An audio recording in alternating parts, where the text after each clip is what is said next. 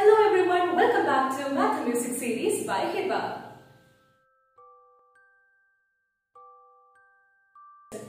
In my previous video, I had discussed about what are perfect numbers. Over there, I happened to mention that the perfect numbers are generated using Mersenne primes. So, this video is about what are Mersenne primes and how we generate the perfect numbers using the Mersenne primes. Before we start with it, we need to brush up a little from the basics. As I told in my previous video, a number can be expressed as a product of itself with 1 and also using other numbers. For example, you can write 6 as 1 into 6, 2 into 3 and the opposite ways of it. So, these numbers 1, 2, 3 and 6 are called as the factors of 6. In this way, for every number, you can find out the factors by enlisting the all possible numbers which can be used to express the given number as a product. Every number is unique and hence each of them has a unique set of factors as well. Let's consider some examples. The factors of 6 we have already mentioned. When it comes to 5, the only way to express 5 as a product is 1 into 5. So 1 and 5 itself are the factors. And coming to 4, 1, 2 and 4 becomes the factors of 4 because we can write it as 1 into 4 as well as 2 into 2. Now coming to 3, it is only 1 and 3 and coming to 2, it's only 1 and 2. Here we observe that the number of factors differ for each of the number. Some have only 2, some have 3, some have 4.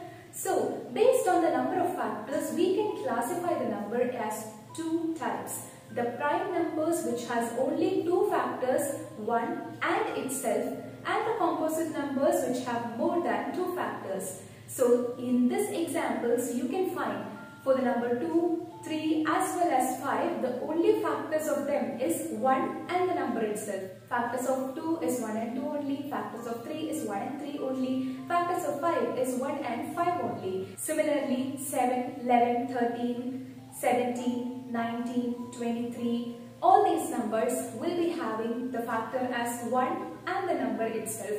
Such numbers are what we call as the prime numbers. Now, actually, the Mersenne primes which we mentioned in the last video is a set of numbers generated using the prime numbers. A Mersenne prime is of the form 2 raised to p minus 1 where p is a prime number. Now, what is the meaning of 2 raised to p is to 2, it is 2 into 2. If it is 2 raised to 3, it is 2 into 2 into 2. If it is 2 raised to 4, then you multiply 4 times 2 into 2 into 2 into 2. So that is the meaning of writing it as raised to the power of something. So 2 raised to p means 2 into 2 into 2 into 2 etc. p times. So now let's consider one by one. The first prime number that is 2. When p is equal to 2, 2 raised to p minus 1 is 2 raised to 2 minus 1 that is 4 minus 1 which is equal to 3. So the first Mersenne prime is 3. Next p equal to 3. 2 raised to 3 minus 1 means 2 into 2 into 2 is 8. 8 minus 1 7. So the second Mersenne prime we obtain is 7. Similarly, we can go on finding the different Mersenne primes. The Mersenne primes are named after Marin Mersenne, a French math scholar who studied about this in the early 17th century. Actually, the Mersenne primes can be considered as a subsequence of the Mersenne numbers which is in general written as 2 raised to n minus 1 where n can be any natural number. In particular, when we consider these numbers as prime number, it gives the set of Mersenne primes.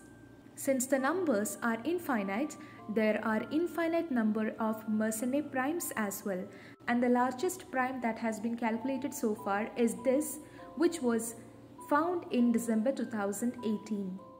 Now it is using this Mersenne prime we are generating the perfect numbers. So in that video I happen to mention that the perfect numbers are of the form q into q plus 1 by 2 where q is a Mersenne prime and now we know that a Mersenne prime is of the form 2 raised to p minus 1. So let's substitute in this expression and we obtain that a perfect number is of the form 2 raised to p into 2 raised to p minus 1 the whole by 2.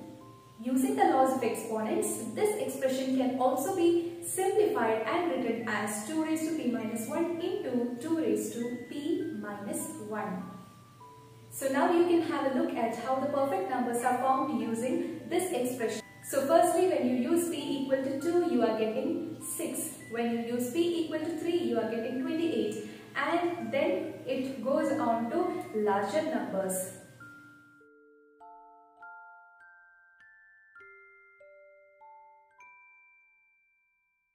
This video was purely mathematical because it's a supporting video for the previous one and I hope you could follow it. So till the next time we meet with another beautiful topic.